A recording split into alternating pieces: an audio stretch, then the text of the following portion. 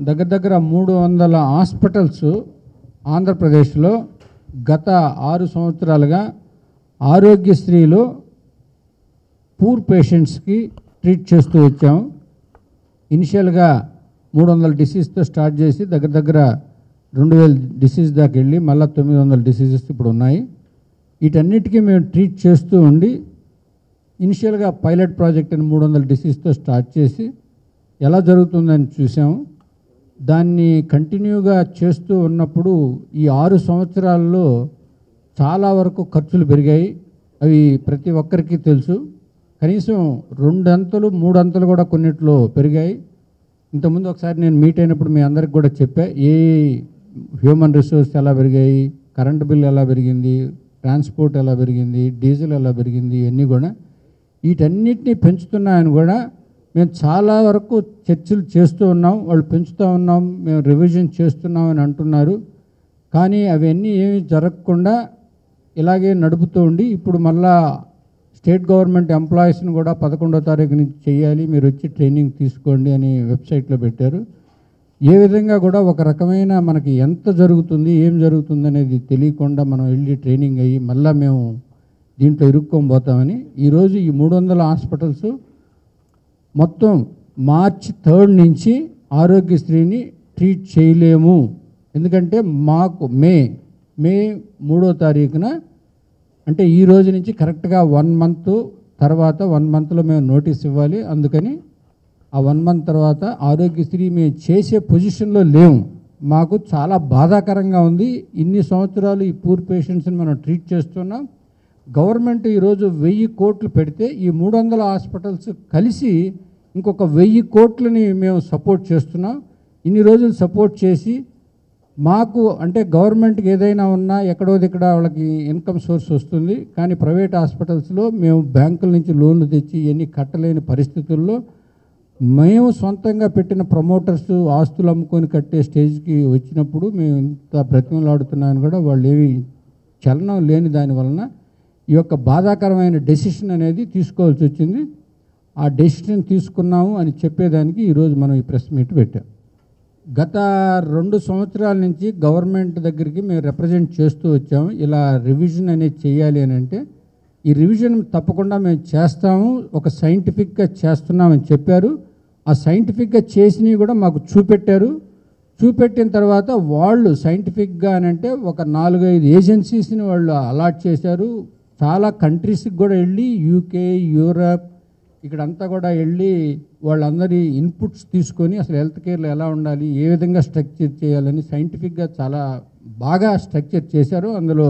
కానీ ఆ స్ట్రక్చర్ చేసింది ఈరోజు వాళ్ళు కనుక రియల్గా ఇంప్లిమెంట్ చేస్తే ఈరోజు దగ్గర దగ్గర పదహారు వందలు పదిహేడు వందల కోట్లు వెయ్యి కోట్లు ఏదైతే ఈరోజు వాళ్ళు ఖర్చు పెడుతున్నారో అదే ఆరు వందలు ఏడు వందల కోట్ల వరకు పెరుగుతూ ఉన్నది. దానికి మేము యాక్చువల్గా ఇంత ఉంది అని అన్నప్పుడు ఒక మూడు వందల కోట్లని పెంచండి అని ఒక లెటర్ కూడా మేము ఇచ్చాము మూడు వందల కోట్లని ఈ విధంగా చేసి ఏదో ఒక రకంగా దాన్ని మనం ఆరు వందల కోట్లు కాకపోయినా కూడా తర్వాత నెక్స్ట్ ఇయర్ చూద్దామని వాళ్ళు చేస్తామన్నారు జరుగుతూ ఉన్నాయి. ఇలా జరుగుతూ ఉన్నప్పుడు రేపు ఏప్రిల్ లెవెన్త్న స్టేట్ గవర్నమెంట్ ఎంప్లాయీస్ని వాళ్ళు చెయ్యాలి మీరు వచ్చి మా దగ్గర ట్రైనింగ్ తీసుకోండి ఏ విధంగా చేయాలి ఏంటి అని చెప్తూ ఉన్నప్పుడు అంటే ఒక ఈరోజు జరుగుతూ ఉన్న ఆరోగ్యశ్రీలోనే రేట్లు పెంచుతామని చెప్పి వాళ్ళు ఏ విధంగా చెప్పకుండా రేపు ఆరోగ్య వాళ్ళ స్టేట్ గవర్నమెంట్ ఎంప్లాయీస్కి కూడా ఎలాంటి రేట్లు ఇస్తారు అనేది కూడా మనకు తెలియకుండా ఈరోజు ట్రైనింగ్లోకి వెళ్ళి మనం ఆడ సంతకం చేసిన తర్వాత మళ్ళీ బయటికి రావడం చాలా కష్టం అవుద్ది అనే ఉద్దేశంతో ఇది ఈ డెసిషన్ తీసుకోవచ్చు the MOUs like this what they do is they have to treat any of these patients who comes as a Aarogyasri card Initially, when we thought, they told it is only 28% of the population is under below poverty line. Now, if you look into that, the 82% of the population are below poverty line. So initially, we don't mind doing this 28% of the below poverty line so that we can also contribute as a corporate uh, social responsibility. But 82% of the people come under this purview. And they put a stri- stringent rules and regulations that the patients has taken a, a lead on us. In the sense, the, the direction is like this. Any patient that comes, we need to totally investigate find out if there is a disease is there. If there is a disease and if we treat that particular patient, then only we get the reimbursement of a fixed amount. Whether if it will be around 50% of the cost what we are charging as on today for the normal patients paying patient మేము యాక్చువల్గా fifty percent అడిగాము కానీ three hundred crores అంటే thirty percent hike అడిగాం once he has an heart disease then will do a angiogram once we do an angiogram then if he needs go for an angioplasty or maybe a bypass surgery. If he requires for a bypass surgery, the package starts from that day. Usually we charge 1.5 lakh for the general ward in the corporate hospitals. In Arogyasri, what happened?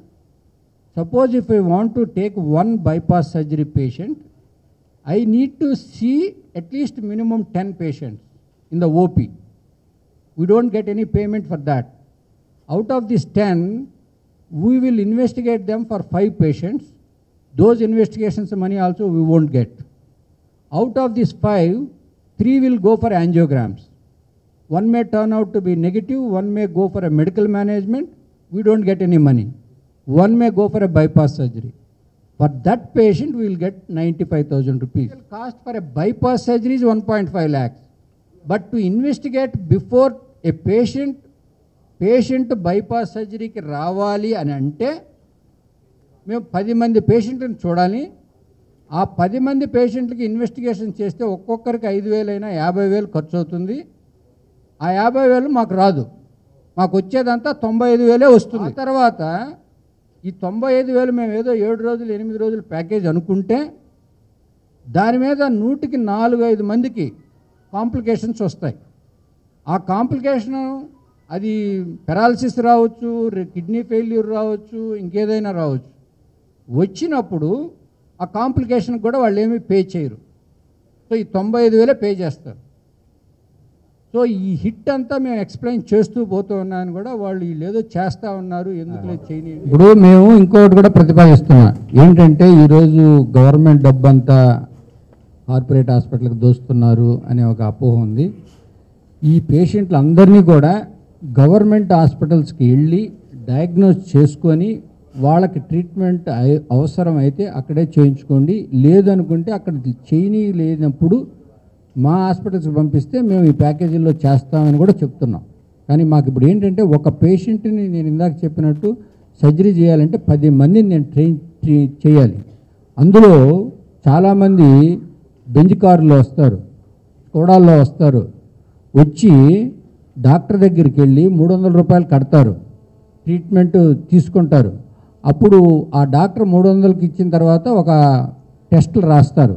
ఆ టెస్టులు రాసినప్పుడు ఈ ట్రింప్ card coffee జోగిలో నుంచి తీసి నాకు ఆరోగ్యశ్రీ ఉంది ఎన్ని ఆరోగ్యశ్రీలో చేయమంటారు. సో వాళ్ళకి రకరకాలుగా వాళ్ళు మమ్మల్ని ఇబ్బంది పెడుతున్నారు. అటు పేషెంట్లు పెడుతున్నారు ఇటు గవర్నమెంట్ పెడుతుంది వీటన్నిటికి తోడు మళ్ళా ఈ ట్రింప్ కార్డు తీసిన తర్వాత ఏంటి ఫోన్ తీసి టీవీ నైన్కి ఫోన్ చేయనా ఈటీవీకి ఫోన్ చేయనా లేకపోతే సివిఆర్ హెల్త్ ఛానల్కి ఫోన్ చేయనా? మాకు ట్రీట్ చేయరా? సో ఇన్ని బాధల్లో ఏదో నెట్టుకొని వచ్చాం ఆరు సంవత్సరాలు. ఇంకా ఆక్సిజన్ అనేది అందక ఆస్పిక్సీ అయిపోతున్న దానివల్ల మేము ముందుకు ఇప్పుడు ధైర్యంగా వచ్చాం.